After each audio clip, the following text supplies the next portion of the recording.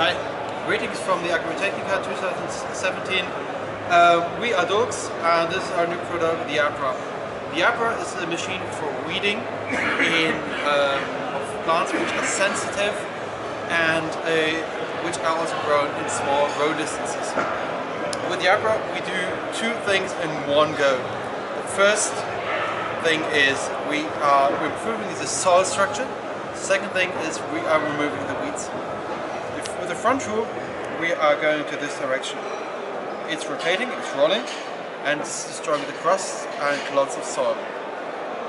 This front tool is also generating the drive for the rear, and the rear tool, which call, we call this rotational shaft, and it's spinning twice as fast as the front tool. And this tool is then just cutting out and throwing out the weeds. Two main advantages for this machine.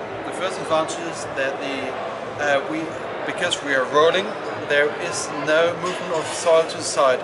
So we, can start um, weeding right after the germination of the plant.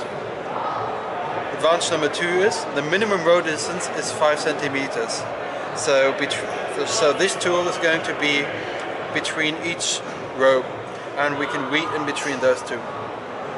You can adjust the um, the safety distance, which is here around 40 millimeters, um, and also the number of rows and the row distance you've got at your machine by just unbolting those two nuts here, taking out the axle just like a bicycle wheel, and then removing the clip and put different spacers in and just just like you need at your farm.